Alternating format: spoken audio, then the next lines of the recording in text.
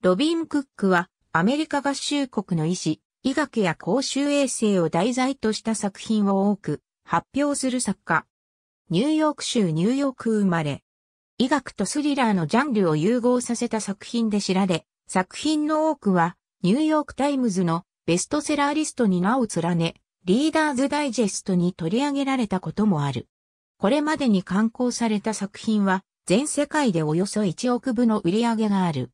ニューヨークのクイーンズ区で育ち、8歳の時にニュージャージー州レオーニアへ引っ越し、そこで初めて自分の部屋を持つことができた。ウェズリアン大学とコロンビア大学の医学大学院を卒業、修了。ハーバード大学の医学大学院も修了した。ボストンの家と妻子が暮らすフロリダ州、ネイプルズとを分けて生活している。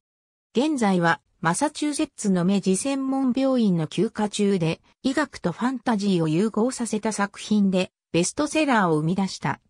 彼の作品は、現代医療の技術的な可能性や、それに伴う倫理的な問題を読者に提起し続けている。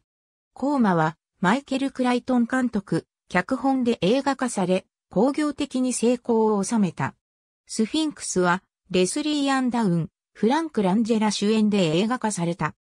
またテレビドラマ化も多くされており、1993年12月にロビン・クックの医療過護が CBS で、1994年11月にモータルフィア、死の恐怖が NBC で、1995年5月にアウトブレイク、感染を原作としたレベル4が NBC で、1996年2月にターミナル、末期病状が NBC で放送された。